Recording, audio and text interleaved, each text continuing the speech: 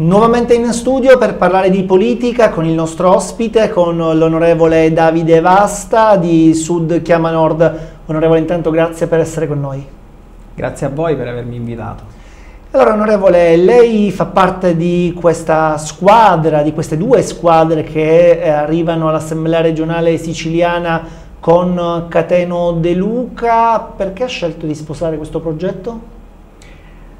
Ho scelto di sposare questo progetto perché in Cateno eh, rivedo eh, un po' quello che per me è, è, il modo giusto di fare politica, la sua esperienza in campo amministrativo, quello che è riuscito a fare nei comuni che ha amministrato, eh, sono stati per me il, la, quella spinta che mi ha, mi ha, portato a fare questa scelta. Sono eh, amico di Danilo Lo Giudice, lo conosco da tanto tempo, la sua esperienza al comune di Santa Teresa di Riva e dopo appunto l'esperienza fatta da, da Cateno come sindaco di Santa Teresa mi hanno detto che era il posto giusto per me, che da imprenditore preferisco più il fare che il parlare. Ecco, adesso però c'è da affrontare l'impegno all'Assemblea regionale siciliana, c'è qualcosa che la preoccupa?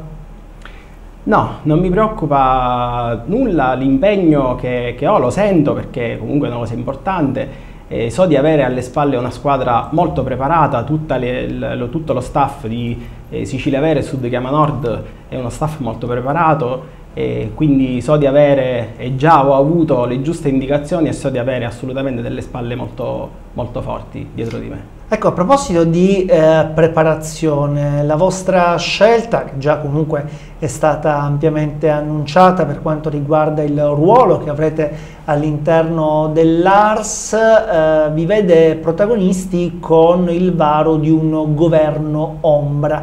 Ci può spiegare qual è l'importanza di questo governo ombra? Allora, il governo ombra rinominato governo di liberazione, che è un po' più simpatico come il, il eh, liberazione è stato un po' il tema di tutta la campagna elettorale. E noi eh, da ehm, opposizione eh, comunque preferiamo portare avanti il nostro progetto, cioè tutto quello che è stato detto in campagna elettorale, i nostri dieci punti programmatici verranno tutti sviluppati e eh, proporremo appunto col nostro governo di liberazione che studierà eh, tutti i disegni di legge da proporre eh, come se fossimo al governo, quindi porteremo le nostre, le nostre, istanze. Allo stesso modo analizzeremo tutti quelli che sono i disegni di legge, le proposte che verranno fatte dalla maggioranza con appunto dei tecnici, quindi dei veri assessori di un governo parallelo e poi prenderemo le giuste decisioni, faremo un'opposizione sicuramente costruttiva. Ecco, oh, già eh, è possibile indicare alcune priorità eh, sostanzialmente i siciliani hanno dovuto aspettare più di un mese per capire eh, quali, quali, sono stati i deputati eletti. È normale nel 2022? No, sicuramente non è normale. Quello che eh, diciamo, possiamo immaginare è che la moneta di scambio, giustamente col il dover comporre pure il governo nazionale, la maggioranza è composta dagli stessi partiti, la Sicilia è rimasta indietro perché prima bisognava risolvere dei problemi più grandi a livello appunto a Roma. La, eh, da parte nostra abbiamo già sollevato dei problemi, abbiamo fatto la prima conferenza stampa, Munnizza Day, soprannominata, dovevamo poi continuare ma purtroppo eh, Cateno ha avuto questo malore che ci ha bloccato sicuramente per un paio di settimane, rinviando comunque il proporre i nostri problemi. Avevamo presentato delle domande a, al Presidente Schifani, eh, del quale ancora non sono, arrivate, non sono arrivate le risposte. Sicuramente il problema del caro energia, ma del, eh, dei comuni, di tutti i comuni della regione siciliana che con l'aumento delle aliquote per lo smaltimento dei rifiuti difficilmente riusciranno a chiudere il bilancio. Questi sono sicuramente i primi problemi da affrontare. Onorevole Vasta, un po' di riposo ci vuole anche per Cateno De Luca, anche lui è umano. Il Munizza Day invece rappresenta, come dire, eh, un, un, assaggio, un antipasto di, che sarà, di quella che sarà questa legislatura per l'Ars?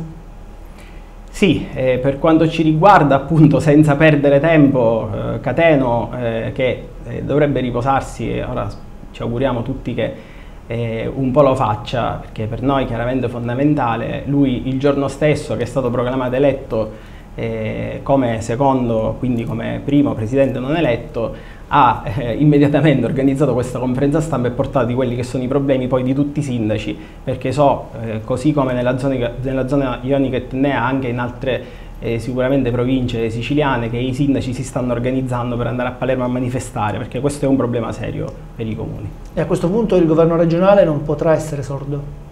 No, il governo regionale deve necessariamente eh, attuare quelle che sono delle, de, de, de, delle eh, strategie che già dovevano essere attuate col governo Musumeci, che però eh, diciamo, poi i risultati sono stati non soltanto in questo settore, eh, quelli di non attuare praticamente la maggior parte delle cose. I problemi, da quello che, che sappiamo e che Catena ha spiegato durante la eh, sua conferenza stampa, eh, la risoluzione del problema era, esisteva già, si è soltanto perso tempo finché poi ci sono state le nuove elezioni. Adesso il Presidente Schifani darà, siamo, siamo sicuri che darà delle risposte anche perché altrimenti il sistema comunale dei comuni implode.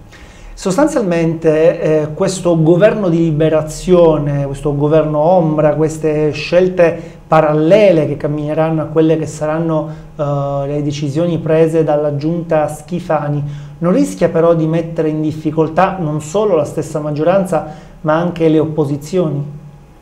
No, secondo noi no, perché noi sostanzialmente porteremo avanti il nostro programma e analizzeremo con dei tecnici validi, chiaramente scelti con tanto di analisi di curriculum e di esperienza sul campo, eh, quelli che sono tutti i provvedimenti, disegni di legge che verranno presentati e eh, per poter fare poi noi un'opposizione costruttiva, quindi non per mettere in difficoltà la maggioranza, ma per migliorare qualora loro non avessero eh, magari notato delle sfaccettature, migliorare quelle che sono le loro proposte e così portare le nostre proposte, quindi del nostro programma, perché fare l'opposizione non significa aspettare che passano cinque anni e dire soltanto ma noi siamo all'opposizione non possiamo fare niente. Noi siamo all'opposizione e portiamo avanti il nostro programma. I siciliani da voi in questi cinque anni che cosa si devono aspettare? Da noi si devono aspettare un'opposizione fatta in maniera seria, concreta e soprattutto coerenza. E non le sembra un po' un ragionamento da 5 Stelle? Assolutamente no, perché eh, da noi, noi stiamo cercando di mettere dentro tanta qualità e il, il, ci sono due tipi di opposizione, dico questo lo sappiamo, è, è sotto gli occhi di tutti. E si può fare opposizione per ottenere qualcosa, si può fare opposizione perché si vuole costruire qualcosa per tutti quanti. Noi facciamo opposizione per costruire qualcosa per tutti quanti. Il Movimento 5 Stelle diciamo che era partito così, poi eh, strada facendo si è perso, non lo dico io, lo dicono i risultati che hanno avuto, noi manterremo la coerenza e l'impegno che ci siamo presi con gli elettori e siamo sicuri, il nostro leader Cateno De Luca per questo ci ha, eh, ha tutti indottrinato abbastanza bene. Vi rivolgerete di più alla maggioranza oppure alle altre opposizioni? E questo, queste sono delle scelte che farà sicuramente il leader Cateno perché sicuramente eh, diciamo, gli accordi politici esistono, si fanno per ottenere qualcosa di, di, buono e di positivo. Quindi queste sono delle dinamiche che ancora è un po' troppo presto da eh, poter sviscerare perché ancora bisogna incontrarsi pure per l'elezione del Presidente dell'Assemblea, quindi ancora un po', un po prematuro ma siamo sicuri che Cateno avrà e saprà eh, indirizzarci tutti nella, nella, nella giusta direzione, ecco, per sempre portare avanti quelle che sono le nostre idee. Onorevole Vasta, uh, De Luca lo ha già detto, comunque guarda quelli che sono i prossimi appuntamenti elettorali, anche non solo uh, Taormina, ci sono anche le, poi le amministrative a Catania, in altri comuni ancora, ci sono le europee nel 2024. Attualmente che discussione è in corso uh, tra di voi per quanto riguarda anche altri comuni del Catanese? Ma noi, eh, Cateno, sicuramente per Taormina, se i taorminesi lo vorranno, come, come dice lui, eh, riuscirà a fare un ottimo lavoro per dare quella marcia in più a Taormina che merita e che rilancerebbe non solo Taormina ma anche eh, buona parte della provincia di Catania essendo molto vicini l'aeroporto, eh, catanese ma la costa è la costa catanese, anche quella messinese. Eh, ovviamente obiettivo europeo è fondamentale, ci saremo sicuramente, come, eh, sanno, come si sa abbiamo, siamo riusciti a costituire pure un gruppo al Senato, quindi eh, non ci sarà più la necessità di raccogliere le famose firme che nel caso dell'Europea è un impegno non, eh, di, poca, di, poca, importanza di poca entità. E, chiaramente le amministrative eh, in provincia di Catania dobbiamo essere presenti, abbiamo eh, l'obbligo di, di, di, impegnarci per cercare di eh, mettere delle pedine in, in, tutti i comuni. Si voterà anche a Riposto che, che è il mio comune. Ecco, infatti lei ha intenzione di candidarsi a sindaco di riposto?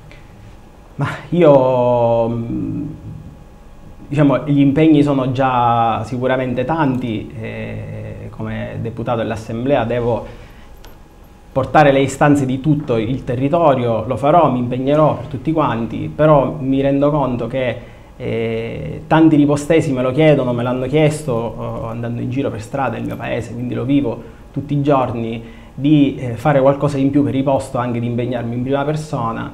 Se eh, i ripostesi me lo chiederanno eh, e me lo continuano a chiedere così a gran voce, io eh, sono disposto a scommettermi ulteriormente di nuovo un'altra volta e provarci. Quindi sostanzialmente non è un no? Non è un no, è un uh, valutiamolo tutti insieme. E con chi, quando effettuare questa valutazione? con la cittadinanza, con il gruppo che mi ha supportato e che deve continuarmi a supportare, col movimento, quindi con Cateno, con Danilo il Giudice, che è il nostro coordinatore. Eh, Danilo già in un post ha espresso un po' qual è la sua, eh, la sua direzione, che sarebbe quella di, di, di candidare me. Io eh, lo faccio, non voglio imporre la mia candidatura a nessuno nel caso, se i, ripostesi mi fanno sentire il loro calore io lo farò molto molto volentieri. Ha riposto sostanzialmente quali sono le criticità che a suo avviso andrebbero, dovrebbero essere affrontate immediatamente?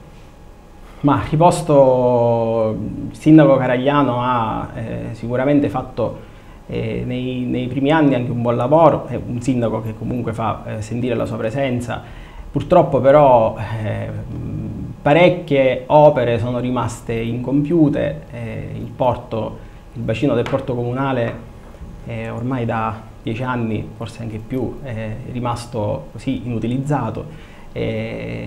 Riposto a un paese dalle potenzialità eh, turistiche enormi che purtroppo non vengono sfruttate e gli imprenditori che eh, potrebbero investire non investono a riposto ma preferiscono ancora andare a investire a Giardini Naxos, a Taormina, a Citrezza, a Cicastello, cioè comunque in paesi dove i servizi turistici sicuramente hanno avuto eh, maggiore eh, attenzione rispetto, rispetto, a Riposto. Eh, Riposto è una cittadina a forte vocazione turistica, porto turistico, la vicinanza dell'Etna, e per Etna intendo quindi pure tutti i paesi pedemontani che offrono delle, eh, anche eh, eh, attività enogastronomiche importanti. Riposto deve essere l'hub poi per lo sviluppo di tutto il territorio circostante, ma l'attenzione deve essere sicuramente diversa da quella che c'è stata negli ultimi eh, 10 ma anche 15 anni, perché sostanzialmente non è cambiato tanto. Forse a partire anche da quelle che sono le infrastrutture, i collegamenti, da troppi anni si parla di questa rivalutazione della linea ferrata lungo l'asse Catania, aeroporto meglio ancora di Catania, eh, fino a Taormina. Sì, eh, anche dico, tuttora io ho un bed and breakfast, quindi spesso vivo i problemi dei, dei turisti. E, oltre, oltre la rivalutazione della linea ferrata, quindi collegamenti con l'aeroporto, si viaggia ormai praticamente sempre in, in, auto con i problemi che ci sono pure sulla tangenziale, ma quello è risaputo un po' da tutti. Anche la ferrovia circumetnea è lato eh, ionico e tenneo molto poco valorizzata, eh, direi quasi nulla, praticamente utilizzata solamente dagli studenti che eh, la mattina si recano dai paesi pedemontani nella città di Giare di Riposto, che sono delle città eh, fatte di scuole superiori, no? quindi eh, questo invece potrebbe essere un bellissimo servizio per i turisti, quei pochi turisti che lo riescono a scoprire, perché noi proprietari di attività eh, alberghiere o extra alberghiere li indirizziamo, ma potrebbe essere molto meglio valorizzato ma anche molto meglio curato, magari utilizzando dei treni più nuovi, più moderni, collegamenti wifi, ci sarebbe un, un mondo. Ma intanto è così complicato potenziare la frequenza delle corse? Ma eh, qua partiamo anche dalla cartellonistica, cioè eh, il turista che arriva a riposto non sa che c'è la ferrovia circuitennea, quindi eh, non sarebbe così difficile, ma se pensiamo che non abbiamo neanche la cartellonistica, immagino che chi eh, deve pensare anche ad aumentare le corse e a pubblicizzare, quindi a, a, a dare la possibilità al turista di conoscere che esiste, eh, esiste un treno per le strade del vino, ma sostanzialmente non è pubblicizzato da nessuna parte, quindi il turista che vorrebbe prenderlo come lo dovrebbe scoprire. Eh, onorevole Vasta, intanto c'è questo impegno all'ARS dall'Assemblea regionale siciliana, come pensa guardare al suo territorio?